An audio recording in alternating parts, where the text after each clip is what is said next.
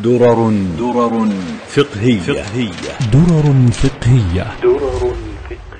من فقه زيارة القبور. أوصى النبي صلى الله عليه وسلم أمته بزيارة القبور لأن فيها تذكرة للآخرة وتزهيدا في الدنيا وعبرة للمعتبر.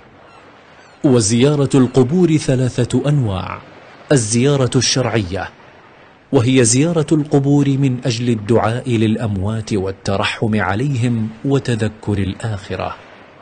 الزيارة البدعية وهي أن تقصد القبور للعبادة عندها بقراءة قرآن أو صلاة أو ذبح وغير ذلك.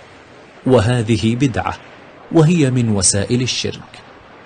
الزيارة الشركية وهي زيارة القبور لدعاء أهلها والاستغاثة بهم أو للذبح أو النذر لهم أو غير ذلك من العبادات التي لا تصلح إلا لله وهذا شرك بالله عز وجل.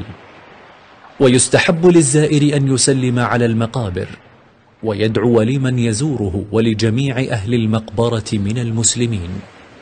لحديث بريدة رضي الله عنه قال كان رسول الله صلى الله عليه وسلم يعلمهم إذا خرجوا إلى المقابر فكان قائلهم يقول السلام عليكم أهل الديار من المؤمنين والمسلمين وإنا إن شاء الله للاحقون.